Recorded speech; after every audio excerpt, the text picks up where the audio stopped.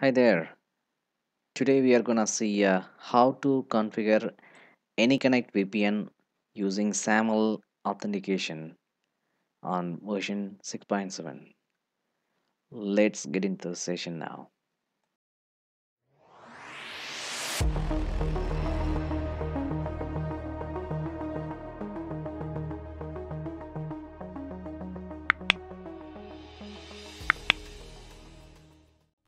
In the demo today, we are going to see FTD 2130 with the 6.7 uh, FTD OS and uh, FMC virtual with the same version of uh, version 6.7 and for the authentication we are going to use SAML using Okta Cloud. Before we get started, we need to understand some of the background information about uh, when we configure uh, AnyConnect configuration on FTD, whether it could be uh, directly configuring on FTD or FMC. There are some limitations when you use SAML for authentication. Some of the bullet points that are already captured in the Cisco website. SAM when you are configuring the SAML, either ASA or FTD is supported only for authentication and not for the authorization. And also when you configure SAML authentication attributes, it will be available only in DAP evaluation.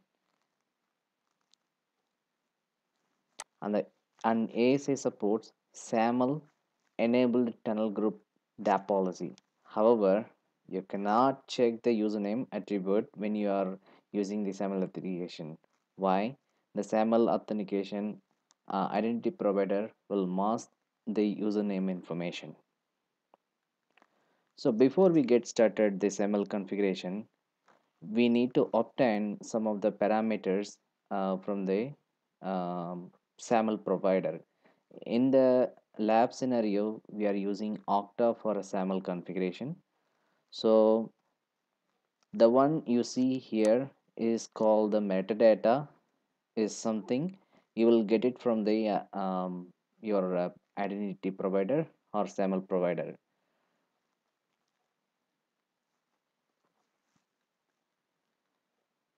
They will be able to provide the information what we need to configure on the FMC, which is like uh, identity provider entity ID, SSO URL, logout URL, identity provider certificate, very key things and the key parameters that we need to configure on the FMC side. Now on the FMC console under remote access VPN policy wizard, we need to configure the name and the available device which is going to be participate in configuring the AnyConnect VPN wizard. On the next page, we will have to specify number of things like AAA server and authentication uh, uh, profile.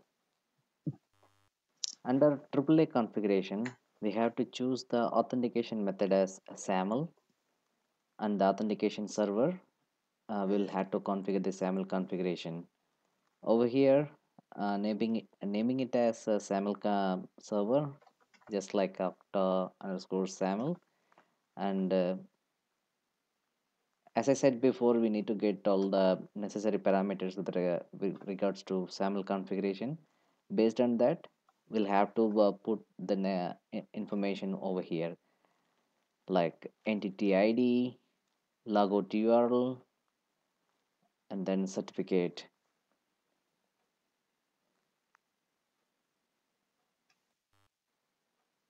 over here put the certificate that was obtained from SAML provider.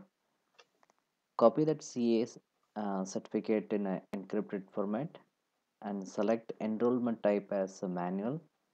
Put that encrypted file or encrypted contracts over here and click save. Next is to configure the VPN IP pool for the specific um, group policy that we are going to create so based on your company network uh, VPN pool, uh, you can go ahead and configure uh, the range of VPN pool Yeah. what you needed to be assigned.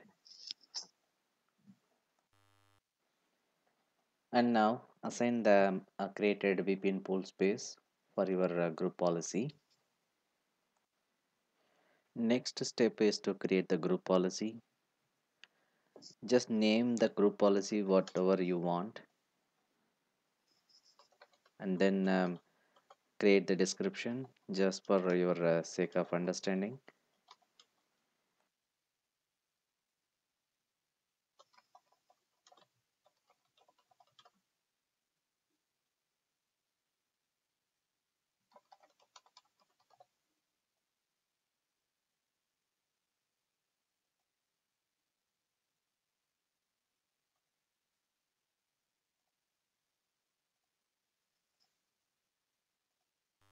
If you have the banner, you can create.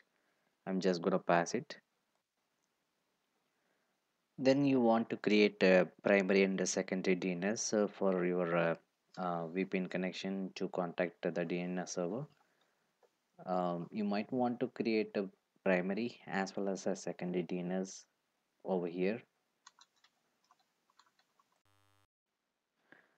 After you create a primary and secondary DNS, you might want to create a WINS server also based on your uh, infrastructure um, setup.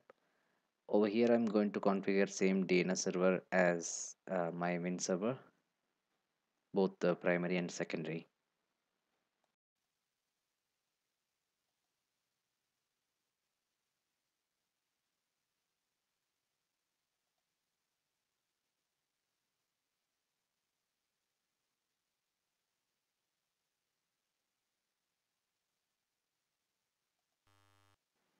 Next, we need to specify the list of uh, networks which only want to pass through the tunnel.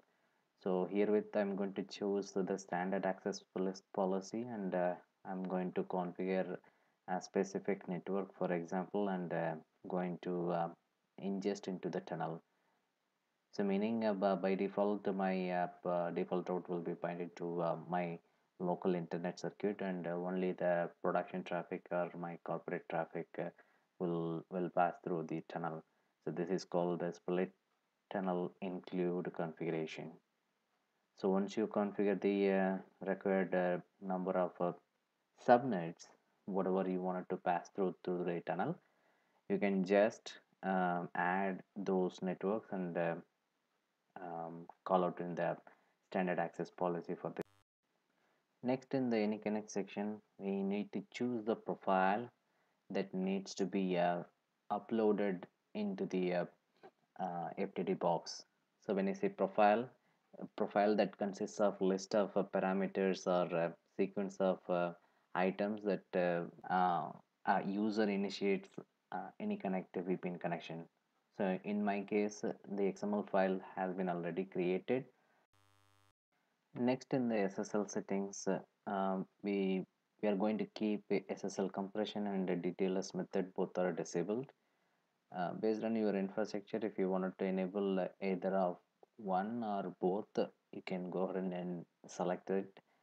In my case, I'm going to disable it as I do not require that. And the connection settings, I'm going to keep uh, um, most of the settings are um, by default. I'm not going to change anything uh, specifically. Next under session settings, I'm going to allow uh, simultaneous uh, login for as two um, ideal timeout as 60 minutes and then um, maximum timeout session would be uh, 1200 minutes. On the next page we need to add the anyconnect file um, based on the version that you wanted to select for your infrastructure. Um, if you have windows or mac or both based on that you need to select the image file and uh, upload it into the uh, FMC wizard. It will make sure to push the policy when you deploy uh, the uh, configuration. Uh, it will also push the um, latest uh, uploaded image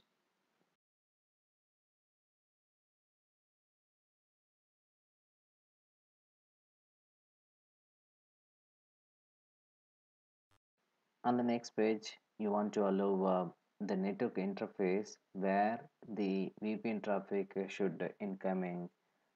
Uh, in this case for example I'm selecting the inside interface but usually it should be the outside interface where the traffic is actually coming from.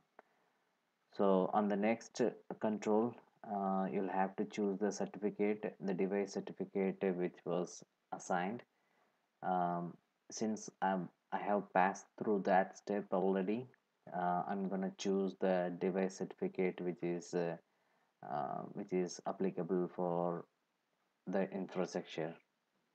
Here in the final setup or final stage you just need to finish click finish and uh, all the configuration will be saved locally on the FMC you just need to uh, select deploy and uh, push the policy to the respective FTD that's all thanks for watching this video. And don't forget to subscribe my channel. And please pass on your comments